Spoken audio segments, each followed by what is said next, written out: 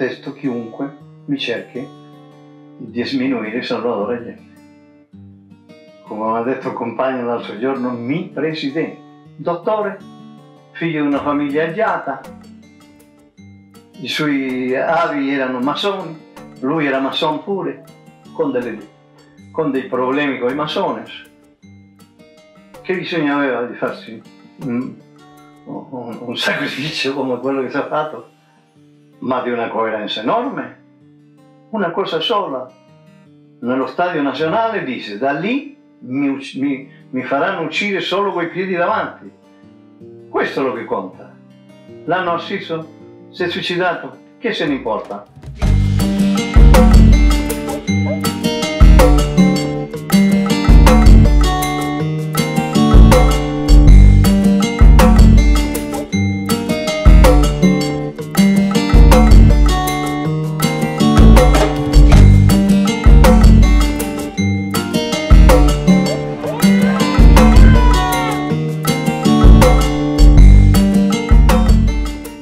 Dispiace, mi dispiace dirlo, la gente non ha mai governato con il 51% del corpo elettorale. La gente non ha mai avuto il 51% del corpo elettorale. Lui è arrivato al 46% del corpo elettorale. Un dato solo soprattutto del sabotaggio. Loro militarmente ci aiutano, continuano a aiutarci, però non ci danno più i crediti per comprare i pezzi di ricambio e neanche per le macchine delle miniere. Okay? I commercianti chiudono i negozi e nascondono i prodotti di prima necessità. I camionisti tolgono i pezzi dei camion perché non siano funzionanti. I tecnici altamente qualificati delle miniere si resistono di lavorare.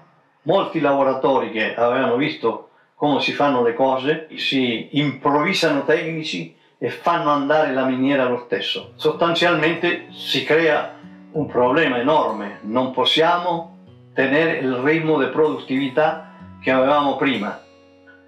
E nel Club de Paris cala il prezzo del rame, da 50 arriva a 10, esempi sono questi. Eh? Avevamo 120 persone, soldati che potevano andarsi a formare ogni anno alle scuole in Panama, diventano 270. C'è un, una voglia di, di, creare condizioni perché in Cile prima o poi si cree, si cree diciamo, questo danno e si creano le condizioni perché i soldati facciano qualcosa e ci impediscano di andare, andare avanti e fanno molti tentativi, fanno sabotaggi interni, si buttano i tralici della luce, si rompono i, gli, acque, gli, acquedotti, si rompono gli oleodotti, i gasotti, tutto, fanno, si buttano dei miguelitos per le strade, i miguelitos sono dei chiodi a tre punte che quando tu vai si inchiodi con quello lì la tua macchina non parte più, eccetera, fanno un sacco di disastri, un sacco di disastri, nonostante tutto. La gente stava con noi piano piano la gente stava con noi. Quando c'è il colpo di Stato poi appaiono lo stesso giorno i, i negozi pieni di roba che prima non c'erano. Tanto è così che mia madre, eh, che era anche lei molto a destra, seguiva tutto quello che diceva mio papà, mi dice Lucy ma che strano, dice quando prima del colpo di Stato c'erano solo le uova, non c'erano i polli, invece tre giorni dopo era pieno di polli cioè come sono cresciuti subito. non dico migliaia, ma centinaia di, di, di, murali fatti in quel periodo, è rimasto soltanto uno che ho avuto anche la fortuna di partecipare con un muralista italo-cileno che si chiama Roberto Saracamata e lui ha chiesto di lavorare con, con il gruppo muralista si chiamava Brigara Monaparra, io ho avuto la fortuna di, di dipingere con lui, tiene conto che questo, questo, muro era stato fatto un, un muro creato e pagato da lui dal punto di vista del materiale. Ora questo murale è stato cancellato 16 volte. Ogni anno le danno una mano grandice.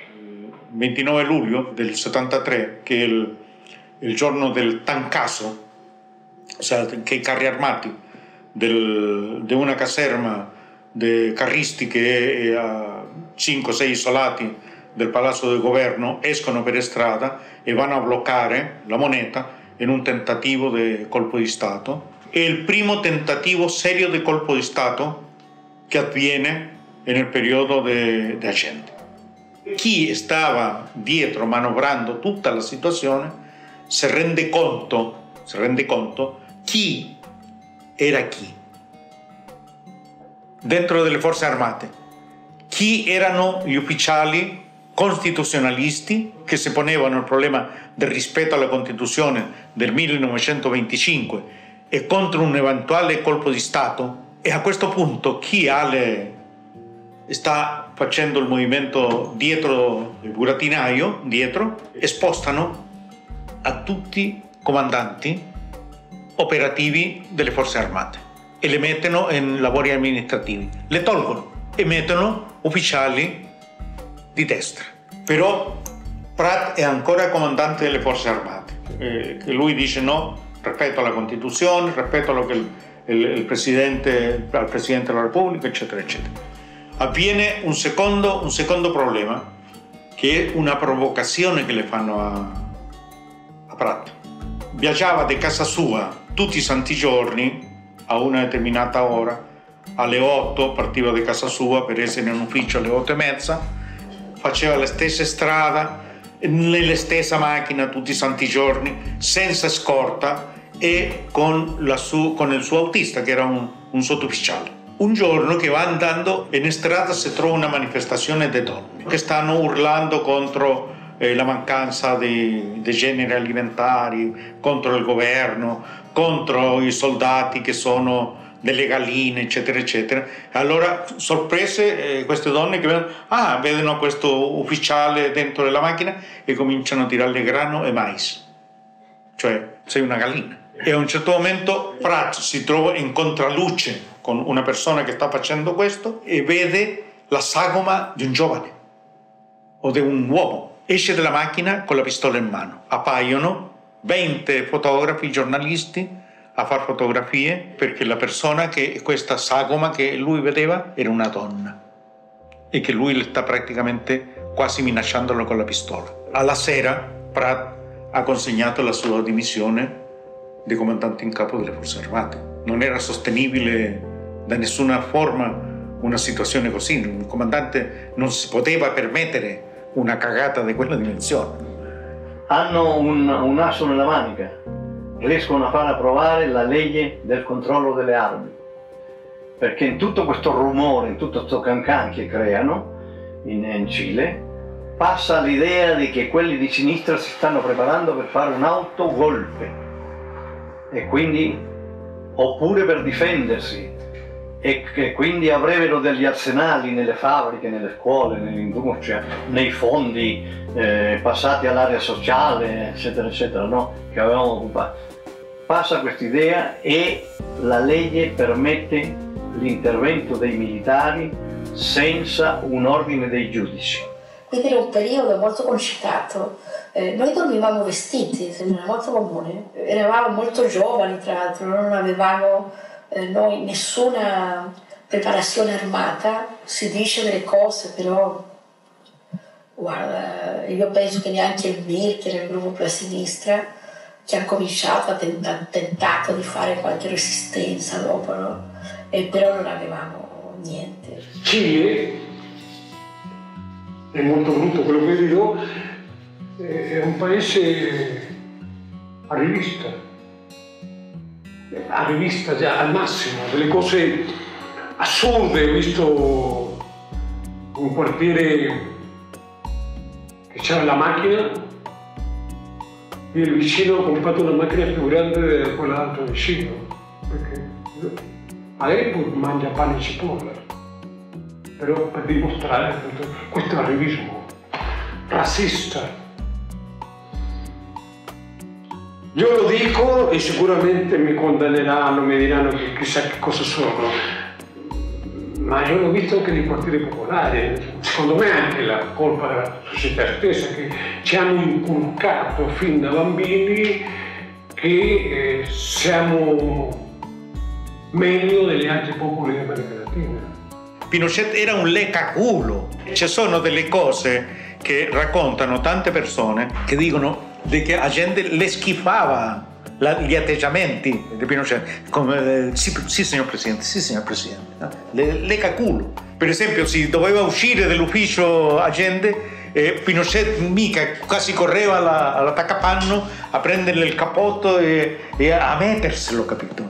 E la gente diceva, ma cazzo mi dà fastidio, non lo sopporto più. Abbiamo avuto un sacco di errori noi, di analisi, no? di, eh, dicevamo la borghesia e il proletariato, eh, lo so, addirittura la questione indigena non veniva considerata, e tantomeno le donne, l'ecologia, e tutta una serie di cose le abbiamo imparate dopo. Dicevamo che, che il mondo era diviso anche in Cile tra la borghesia e il proletariato, quindi gli alti ufficiali erano dei borghesi, tutti i soldati erano proletari e dovevano stare con noi, ¿no? Se trata, compañeros, que los dirigentes sindicales nuestros tomen esa tarea como una tarea prioritaria de ellos, que se conecten compañeros de otras empresas, que en sus sindicatos planteen a los otros dirigentes la necesidad de vincularse con los compañeros de la otra cuadra, con los compañeros de más allá.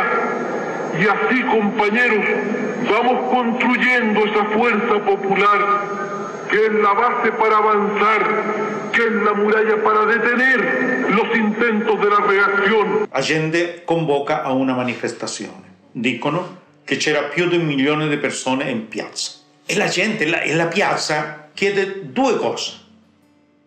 Chiede chiudere il Parlamento, dove la gente non aveva la maggioranza, la prima cosa.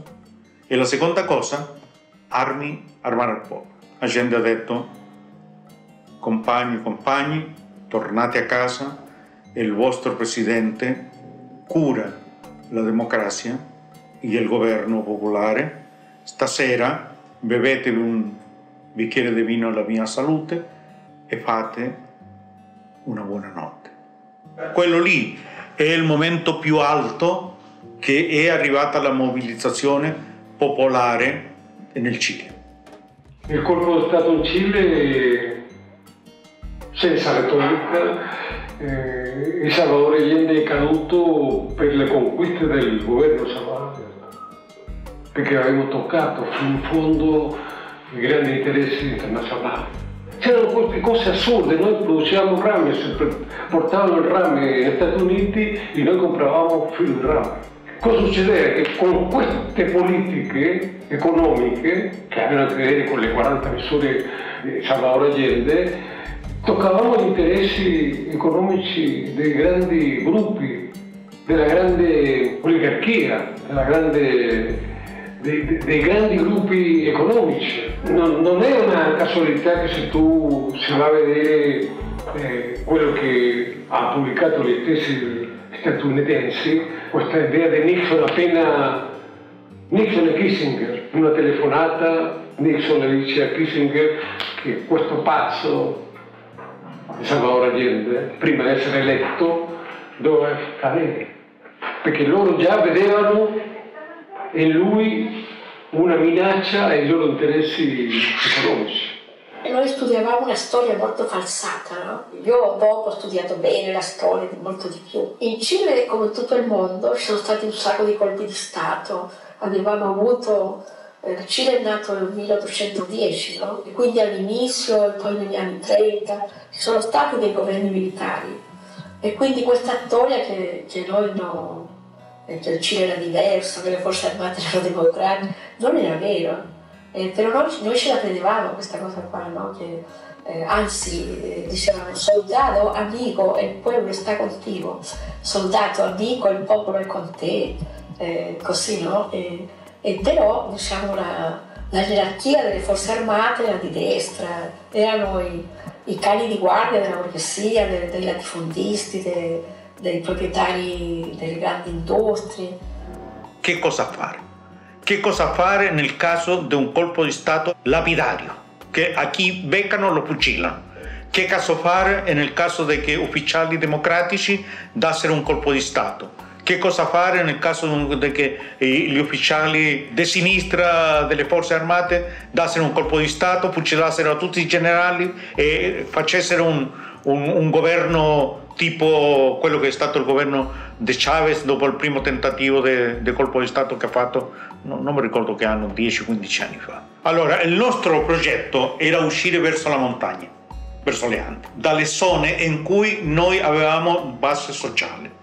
L'esperienza dell'Unione Popolare è stata utilizzata da, da tanti, diciamo, da tanti, tra virgolette, e in particolar modo in Europa, in particolar modo in Italia. C'è un signore che molti amano che ha preconizzato il compromesso storico a partire dall'esperienza dell'Unione Popolare, dicendo fondamentalmente che per poter governare tranquilli non basta neanche il 51%. No? Ma il problema non è la percentuale di voti che hai per governare, il problema è che cosa vuoi fare con quel 51% di voti.